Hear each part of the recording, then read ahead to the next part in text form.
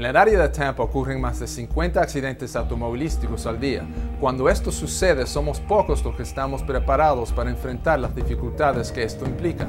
¿Qué sucede cuando el otro conductor no tiene seguro de automóvil?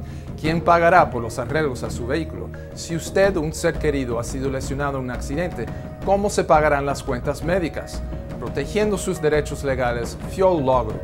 Nosotros somos sus defensores.